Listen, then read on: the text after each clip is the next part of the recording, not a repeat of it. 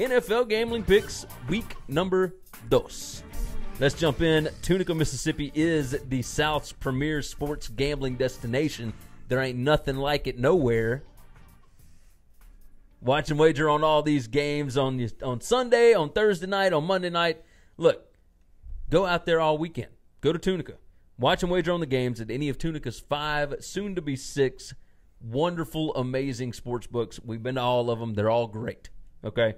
Horseshoe, Gold Strike, Sam's Town, Hollywood First Jackpot, soon to be the Fitz Casino.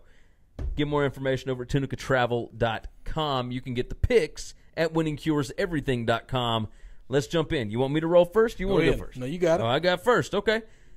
Look, first off for me, the Colts at the Redskins. The Redskins are laying five. 12 p.m. on CBS. Alex Smith looked absolutely legit last week. He is Mr. September. 21 out of 30, 255 yards, two touchdowns. The Colts defense allowed Andy Dalton to go 21 of 28 for 243 yards and two touchdowns last week. The Colts gave up 5.1 yards per carry. They got demolished on the line by the Bengals, and the Redskins have a better line, offensive and defense. The Colts are weak across those lines. The Redskins are going to win this one in the trenches. Five points ain't near enough. Take Alex Smith. Take them boys. Five points. Let's roll. The first game I'm giving you is the Carolina Panthers. I do not believe in Steve Sarkisian. I do not believe in Dan Quinn. I do not believe in this Falcons team. Even at home? I don't care. Oh, by the way, I, I went three and two in week one.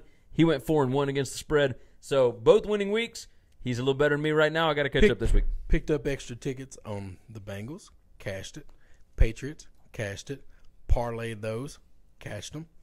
Anyway, Believe I, it. I like the Panthers. I, I I know that their offensive line's not real good. What's Um, the line on that game? Uh, they're plus five and a half is what I saw it at this evening. right. And and I I just I think I think they're going to win the game. I think they're the better team. I don't respect. Um, I just don't respect. The, you know this Falcons, Falcons. team. I, I think Sark is way outside of his league, and and Dan Quinn's really good at making defensive adjustments. I, I think this could be low scoring.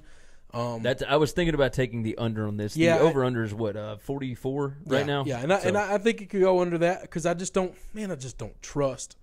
I just don't trust the Falcons' offense at all. I, I don't now, blame you. I would tell you this: if Luke Kuechly is out, I'm I'm walking away from this game. I will wait till closer to the game time to make this bet. Okay, that makes sense. Uh, Dolphins at the Jets is game number two for me. Jets minus three, which almost looks like a misprint sometimes. You know, I, I don't know many times that they've been favored uh, in Yeah, the in the last couple of years, Yeah. no. Uh, 12 p.m. on Fox. Uh, look, Jets defensive coordinator Kacy Rodgers has always fielded strong defenses since 2015 when he got there. What he did to the Lions on Monday night was borderline criminal. Yeah, he, he ought to be ashamed of himself. Five picks in the game. Beat- Just and and they came out and said afterwards it was the best week of preparation they've ever had. They knew exactly what plays were being run. They knew.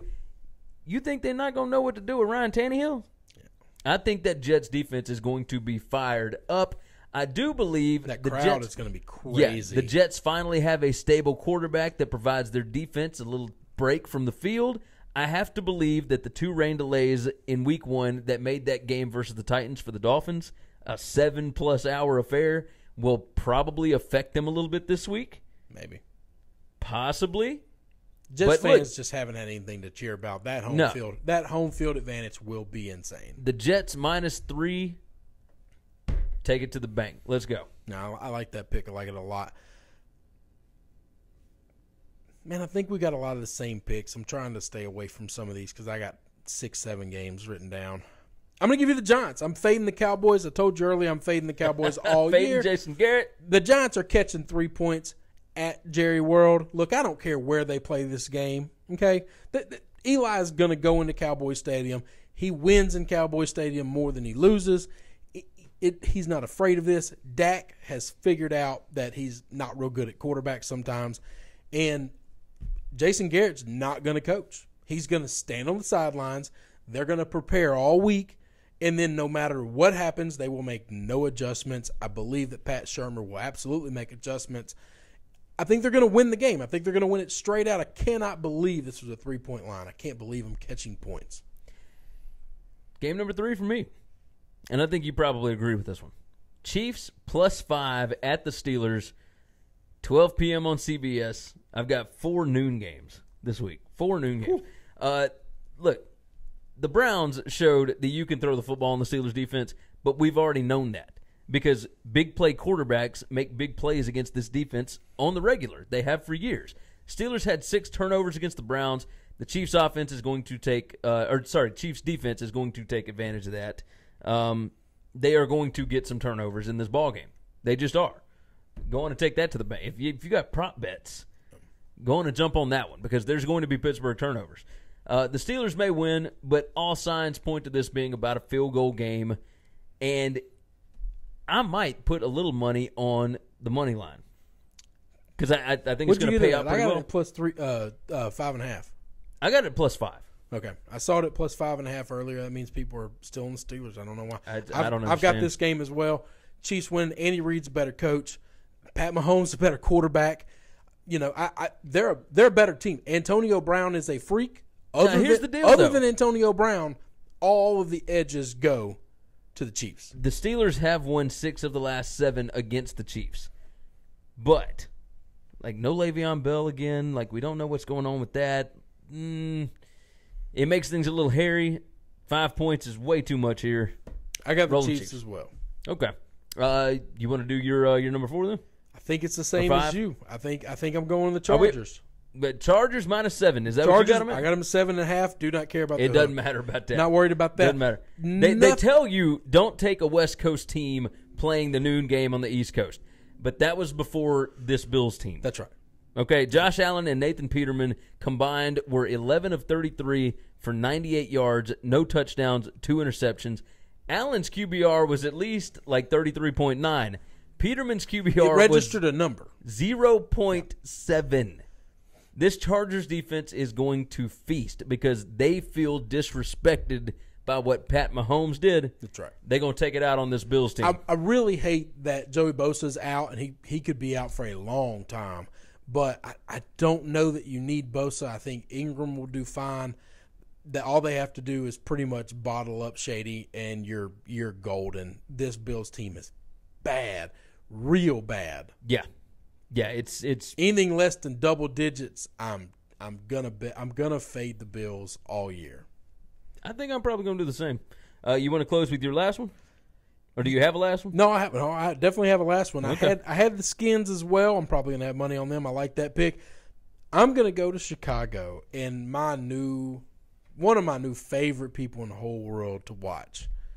Khalil Mack wearing a Bears jersey just makes me smile. Man, he is good. Russell Wilson's got a bad offensive line. He's going to be missing his number one weapon in in Doug Baldwin. I think it's going to get ugly for my boy Hustle and Bustle Russell.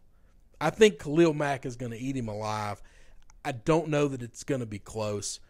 They're laying three. Seattle might play it close. Their defense is better than Green Bay's defense, but but I, I think I think this Bears team is going to get things right. They were so close to beating a, a, an Aaron Rodgers team that people had picked going to the Super Bowl.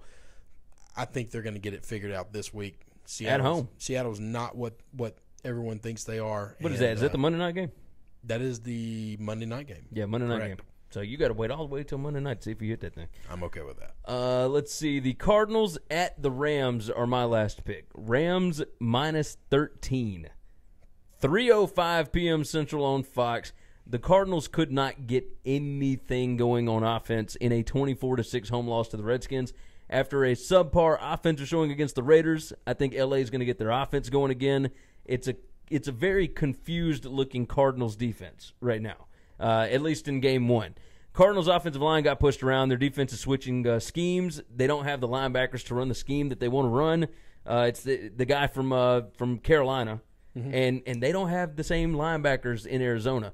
They had, They don't have Kuechly. yeah, they just, they, I mean, yeah, they don't have him. So so many of these defenses are so Rely on one dependent player. on one guy. Von Miller is the absolute linchpin in Denver. Yeah. Joey Bosa is the key in in in in San Diego, in L.A. for the Chargers.